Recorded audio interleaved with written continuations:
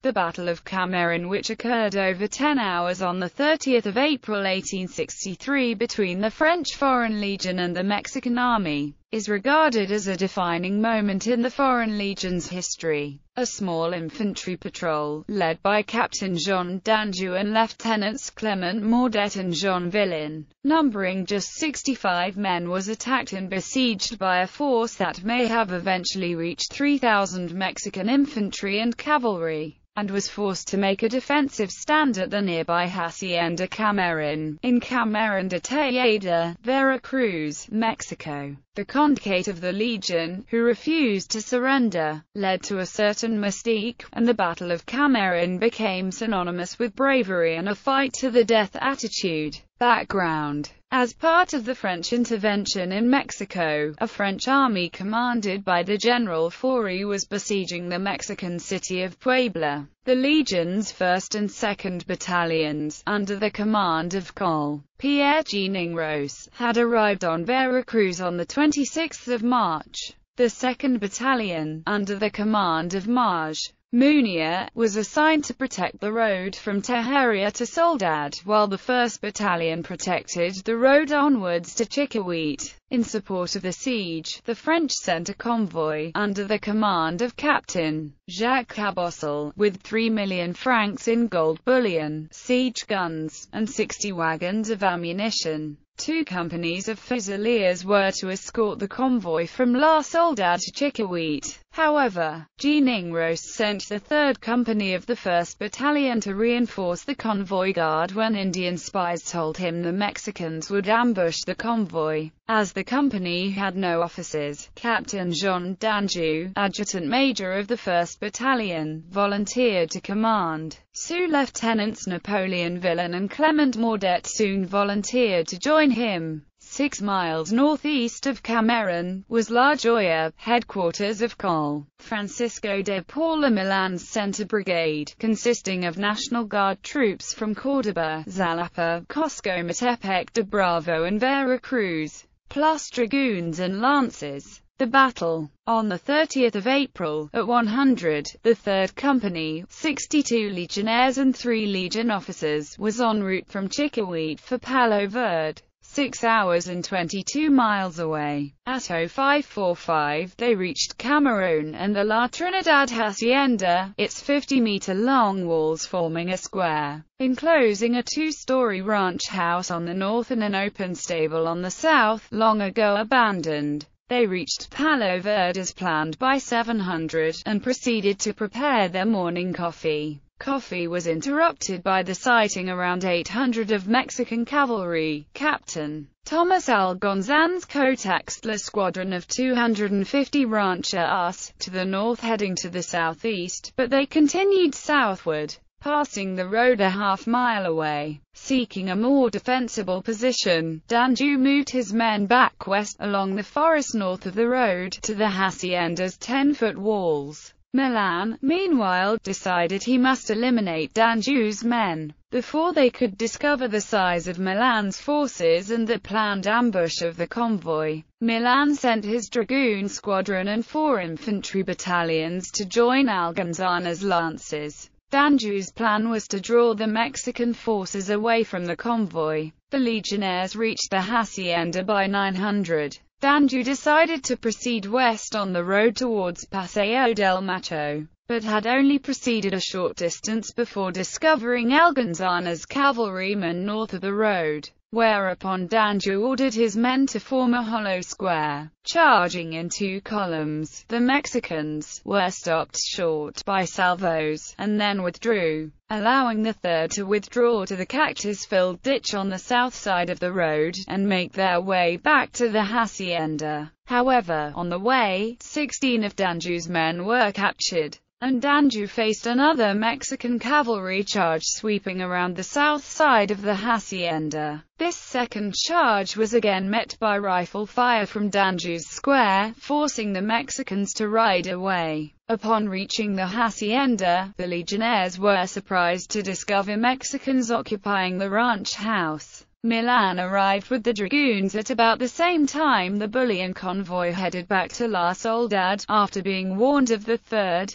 difficulties. Seeing that he was totally surrounded, Captain Danjou urged his men to take an oath to fight to the death rather than surrender. He made them swear their fealty on his wooden hand. Danjou then shared his bottle of wine, and encouraged his men with those noble words that warm one's heart and makes the final sacrifice less difficult to face. Milan sent Captain Ramon Laine to negotiate a surrender, who explained to Danjou, you will be needlessly slaughtered. Danjou replied that he had plenty of ammunition and shall continue to fight, whereupon, at about 1100, the Mexicans charged the gateways on the west end of the hacienda, and the breach on the south.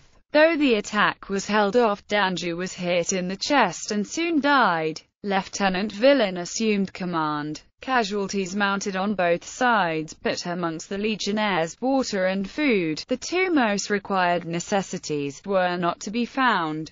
Thirst, heat exhaustion, and sunstroke had replaced them. Their mules had run off after the first encounter with the Mexican cavalry, and then Col. Milan's Center Brigade infantry, 1,200 to 1,400 men, arrived at the hacienda. When Captain Lane offered the legionnaires a second chance to surrender, Sergeant Vincent Morzycki responded in the spirit of Pierre Cambronne, with mud. After four hours of fighting, 32 legionnaires remained fighting. By 1400, only 20 could still fight. At 1430, Lt. Vilain was struck dead, and Lieutenant Maudet took command. By 1700, the roof of the ranch house had been burned away, the legionnaires were down to 12 men, and Col. Malin ordered his men out of the hacienda, and offered the legionnaires a third chance to surrender. By 1730, only Lt. Maudet's men remained in the stable. By 1800, with ammunition exhausted, the last of Danjou's soldiers,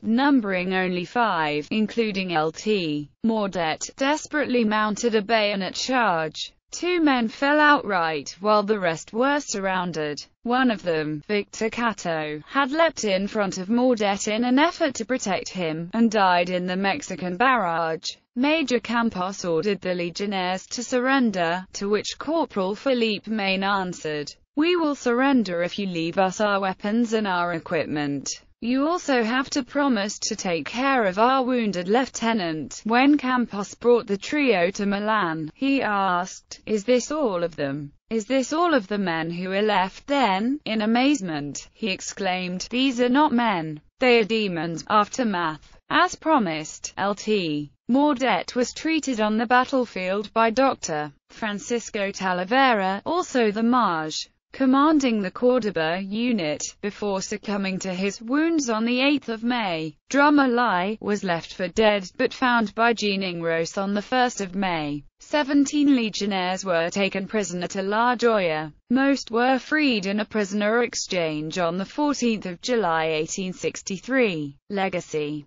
when the Legion moved to France, Capitaine Danjou's wooden hand was taken to Aubagne where it remains in the Legion Museum of Memory. The hand is the most cherished artifact in Legion history and the prestige and honor granted to a Legionnaire to carry it on parade in its protective case is among the greatest bestowed on a Legionnaire. The 30th of April is celebrated as Cameron Day, an important day for the Legionnaires when the wooden prosthetic hand of Capitaine Danjou is brought out for display. In 1892, a monument commemorating the battle was erected on the battlefield containing a plaque with the following inscription in French. Ils furent ici moins de soix anti opposés a tout une armée qui s'armas les écrase la vie plutôt que le courage abandonna ses soldats français le 30. Avril 1863 et la mémoire la patrie Levacy monument The railing from the Legion grave at Cameroon can now be found at the village of Puyloubier, near Aix-en-Provence.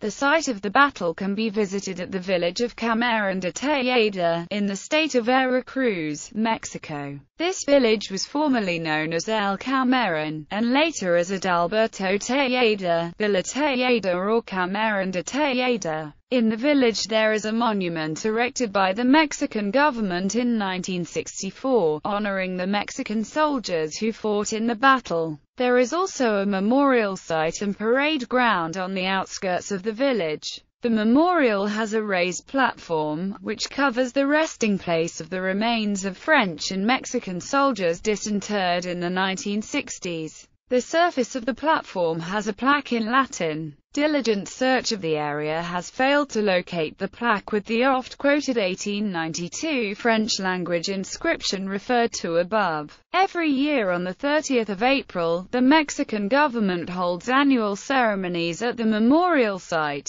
with political speakers and a parade of various Mexican military units. The village holds a fiesta on the same day. The ceremonies are sometimes attended by representatives of the French military, and the site is also visited by retired veterans of the French Foreign Legion. It is also tradition that any Mexican soldiers passing by the area turn towards the monument and offer a salute. The village of Adalberto Tejeda is located on secondary roads about 25 to 30 kilometers west of the town of Soledad de Doblado, Veracruz, and about 64 kilometers west of the city of Veracruz. The 1964 monument is in the center of town. The memorial and parade ground, known as El Mausoleo, is a few blocks away on the edge of the village, near the town cemetery. The coordinates of the village of Adalberto Tejeda are lat. 19.0216 degrees, long, minus 96.6154.